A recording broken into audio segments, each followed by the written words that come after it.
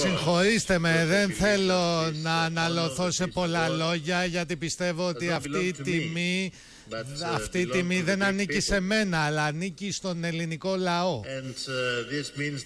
Και αυτό σημαίνει ότι εκ μέρους αυτού του λαού λαμβάνω αυτό το βραβείο σήμερα. Και δεν υπάρχει κανένας λόγος να αναλωθώ σε πολλά λόγια γι' αυτό. Μόνο λίγα λόγια και καλά. Αποδέχομαι αυτό το βραβείο εκ μέρους του ελληνικού λαού γιατί πιστεύω ότι εκείνοι, δηλαδή ο ελληνικός λαός, ε, αξίζει όλη την τιμή και τη φιλοφρόνηση.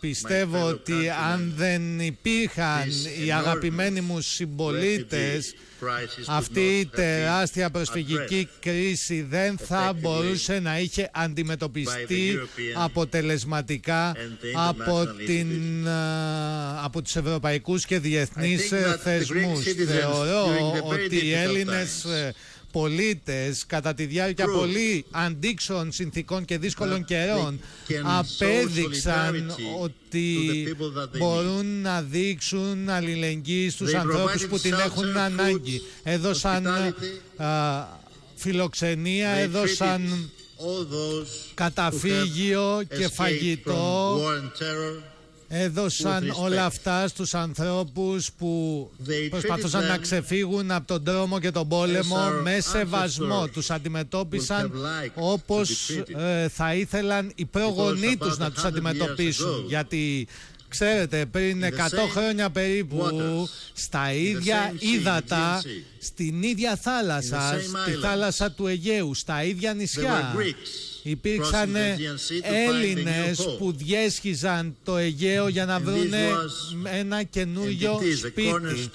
Και αυτό αποτέλεσε ένα ορόσημο και εξακολουθεί να αποτελεί ορόσημο για το έθνος μας. Γι' αυτό θέλω να σας πω ότι είμαστε πολύ περήφανοι για τη συμπεριφορά των ανθρώπων μας, των πολιτών μας, την ίδια στιγμή που αλλού στην κεντρική Ευρώπη φτιάχνουν τείχη και φράγματα. Οι Έλληνες ανοίγουν τις αγκαλιές τους και είμαστε περήφανοι ταυτόχρονα για την ιστορία μας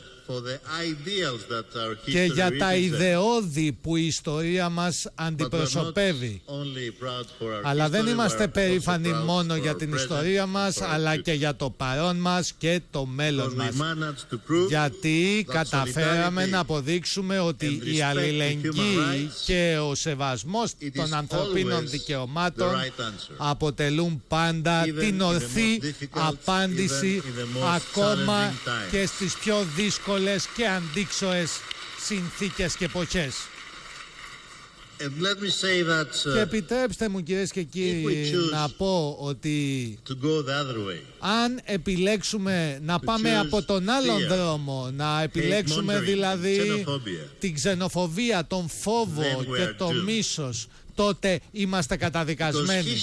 Γιατί η ιστορία κυρίες και κύριοι δεν μπορεί να ανατραπεί και να γραφτεί αλλιώς. Η ιστορία δεν μπορεί να μην τύχει σεβασμού.